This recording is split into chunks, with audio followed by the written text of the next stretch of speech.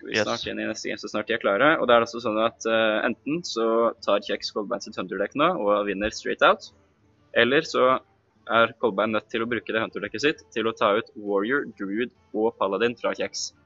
Jeg tror det blir enormt vanskelig med tanke på at eh, Vi har sett det skje før, selv eh, Ja, det har skjedd før. men det er eh, et Eh, vanskelig dekk å slå, altså. Paladin. Det er, vi har sett et par turneringer i det siste i den internasjonale scenen, der hvor spillere har bestemt seg for å ta med ett litt quirky, litt off-meta-dekk, og så har de endt opp med å sweepe med det fra en sånn posisjon som Colbein er i nå.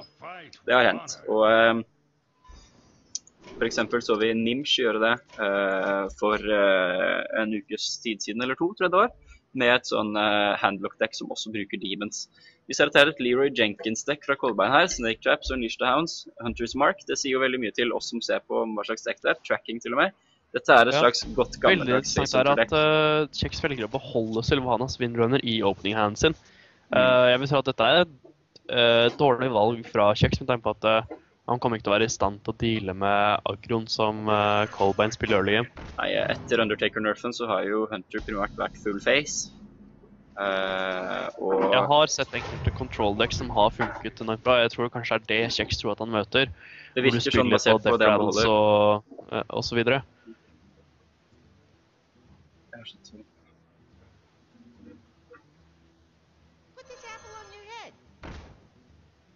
Men uh, det virker som jeg har et litt problem med med, uh, med spektatinga Mi for øyeblikket. Jeg må gå ut og inn. Um, det kan også være at uh, Kjeks valgte å beholde Sylvanas på starten her, Uh, fordi at han føler at han har så gode kort ellers, at planen hans er å komme seg ganske langt, og så bruke Quality Consecration for wipe hele brettet, og så Sylvanas etterpå. Eh, Ja.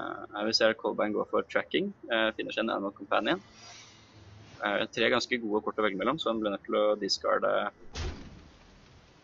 discarde ganske gode kort for å få tak i den, men man kan jo se på det sånn at det er kort du ikke vil få tak i uansett, da.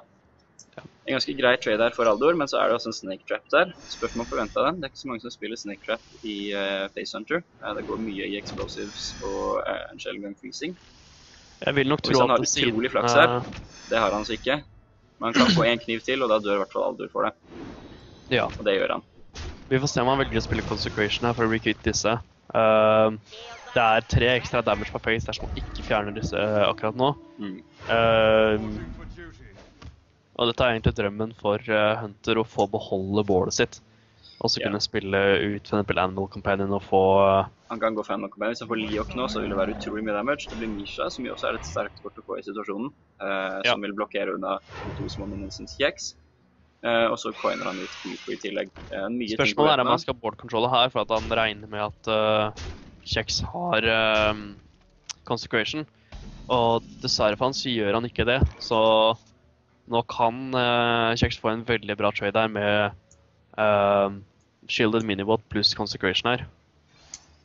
Definitivt. Eh, ofte når du spiller eh, veldig agrodeks mot Paladin av typen Sue eller eh, Hunter, så hender det at man velger å bestemme seg for at hvis han har Consecration, så har han den, og da er det ikke noe jeg får gjort med det. Da taper jeg sikkert uansett. Så jeg bare spiller om han ikke har den. Det er mange som har den mentaliteten.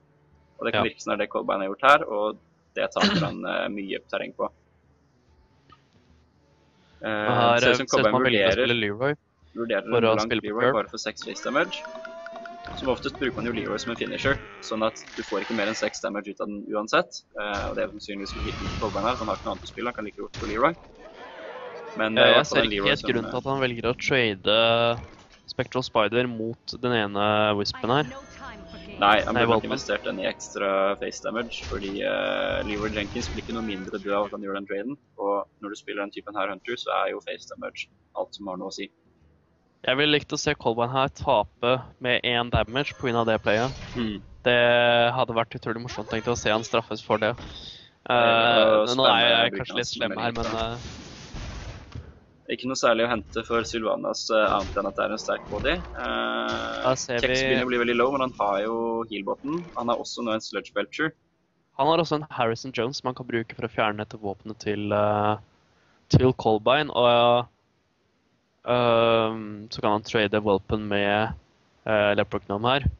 Eh, the Mm. law, Det er litt mer risikabelt, men jeg tviler på at uh, det er noe som kunne gjort at uh, Colband kan deale eh, 10 damage på én turn. Det måtte være å ha en uh, enmanna beast pluss Ja. uh, to kill commands, og det var veldig usannsynlig hånd. Men hvis han får en enmanna beast her nå, så har han 9 damage.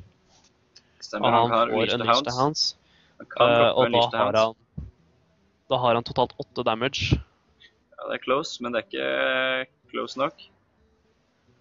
Nei, dessverre er det for ikke det. her. Han kan også gå for kill command pluss Arcane Golem, og også Hero Power. Nei, det kan ikke, han ha knopp til det. Men hvis han kunne gjort det, så ville uansett også vært 9 damage. Jeg velger å fortsette face, håper bare på at Kjeks ikke har noe til å stoppe det. Kjeks har jo både Antique Healbot og Belcher. Jeg tipper vel kanskje dessverre på så at det er får han ikke spilt begge to.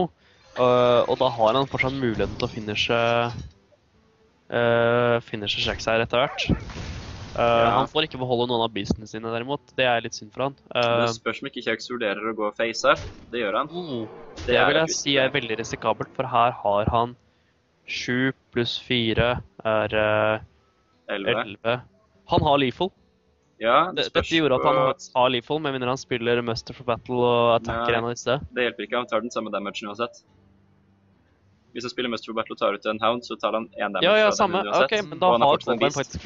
Da ser det ut som Colbein kan ta gamet, rett og slett. Uh, jeg tipper Kjeks uh, rett og slett angrer litt grann på at han ikke tok ut beastsene. For det er nøyaktig lethal med mana-curven. Ja, jeg ser ikke hvorfor han ikke skal gjøre dette når han har en uh, Militos til sludge neste turn. Uh. Eh, hadde dette vært ladder, så hadde dette vært tidspunktet der hvor Colbein spammer 'thank you'. Eh, helt klart. Og eh, utrolig bittert for Kjeks. Det er nøyaktig lethal. Han satt på en ganske høy health total og tenkte kanskje at han kom til å klare seg. Men som oftest mot Hunter, så er det feil. Ja. Skal vi gå for den nå? Yes, eh, vi skal ta en kort pause nå. Eh, igjen, sørg for at uh, ting fungerer og glir som de skal.